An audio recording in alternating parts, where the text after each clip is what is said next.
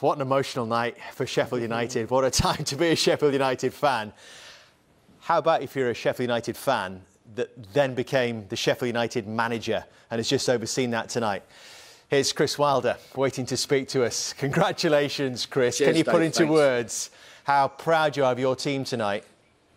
Yeah, the old football club, you know, uh, to, to, to host a game like this, the magnitude of it, and to, to play well and get a win. Yeah, we were under enormous pressure second half, but I think we limited limited them to, to few chances, and uh, you know we backed up a, a good performance with a good result, and we didn't for four or five weeks ago against the European champions, and we wanted to make sure if we played well against the top sides, you have to get something from the game, and, and three points is a, a great reward for the players. Was this then the game plan working to perfection tonight, Chris?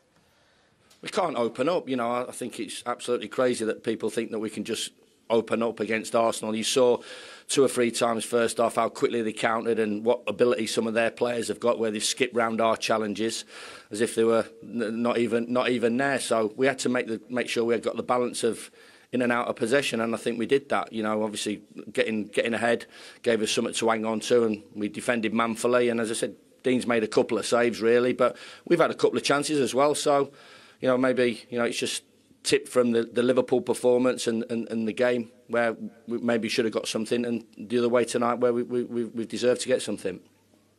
Chris, you, you've said about not opening up, but how pleased were you at the actual football that you played, especially first half? And I said at half time, it wasn't just a, a battling performance. You know, footballed Arsenal.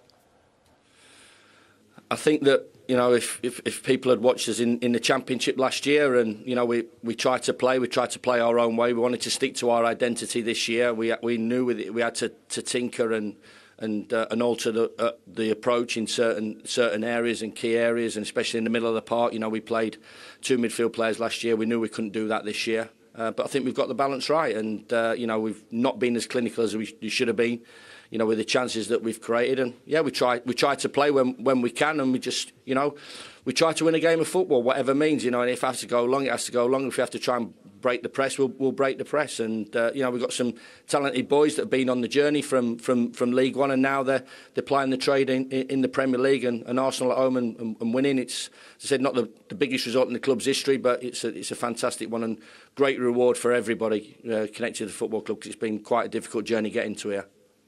Chris, you mentioned about having the extra midfield player uh, coming into the Premier League.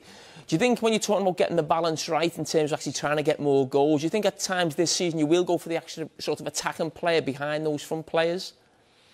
I think there's a there's a there's a time and a place, but you know we have to look at every game for, on on its merits, and, and that's what we've tried to do. And you know defensively we're solid, and you said you know we we want to go forward, we want to we want to drive their best players back, but knowing that you know the, the, just the difference in the championship at the top of the pitch, I mean absolute incredible players that that start and then come off off the bench like even even tonight, and when we played at you know all, all the games that we've played, so you know we have to we have to make sure we get get that get that balance right. But you know this was obviously always going to be a, a game where we had to make sure that defensively we, we all did our jobs and kept a really good shape, shape behind behind the front two. But you know still wanted us to, to, to go forward, and I thought we had some you know some decent opportunities as well. And you know as I said, delighted with the, the, the general play and the balance of the play, and, and, and obviously you know made up that we got a result because you know I said about the, after the Liverpool game, you know some a lot of good things said about us, but we've walked away with no points. So you know we're, we're not talking about plaudits. We want we want points, and it's a big three points for us tonight.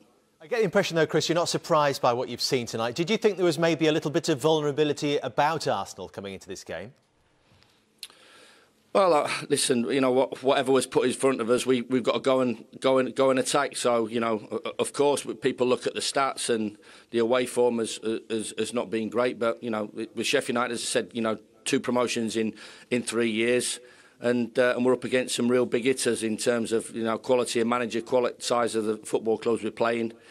You know, and we wanted to go and take the game to them, and we felt we did it. Said against Liverpool, uh, and we and, and we certainly did tonight, knowing that you know really they have dangerous players, especially on the counter attack that can hurt you. And they've had a couple of chances first half, so maybe you know we're, we're, we're obviously you know quite happy that they, they, they've not scored. But I thought, as I said, I thought it was just a real good all-round performance from us, and uh, and obviously the atmosphere at, at the end drove us forward to get a, to get a big three points.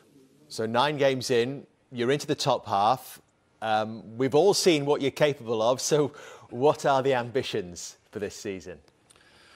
seriously, you know, every game we're going to try and get something from, you know, and, and see where that. T- and it's, no, it's uh, quite boring from from me being a, a, a Yorkshire guy, you know, with a with a tracksuit on. But that's where it's at. We're going to every game and see if we can pick something from. Uh, and then you know accumulation of points. If it's good enough to keep us in the division, that's fantastic. But you know we have to make it difficult for teams to come in. We feel we have done in all the teams that we've played. You know Leicester, Southampton, Palace, and Liverpool, uh, and, and, and tonight. And uh, and ask the question of those teams that come to Bramall Lane. You know, if you if you're going to win, you're going to have to play really well tonight. And uh, you know, we're up for the battle. You know, it's it's early days. We're, we're delighted with the points total that we, that we've got. But again, you know, we look at the next few fixtures: West Ham away, Burnley. Burnley at home, who are doing fantastically well, and then we're away at Spurs. So you know it's a brilliant fixture list, but you know we we don't just want to make the numbers up and be there for people just to easily you know pick our pockets, and I don't think we have done all, all season. They certainly haven't. It's been great to watch tonight, Chris. Thank you very much. I think you've earned yourself a greasy chip butty. Cheers, yeah, cheers, cheers, Dave. Thank you.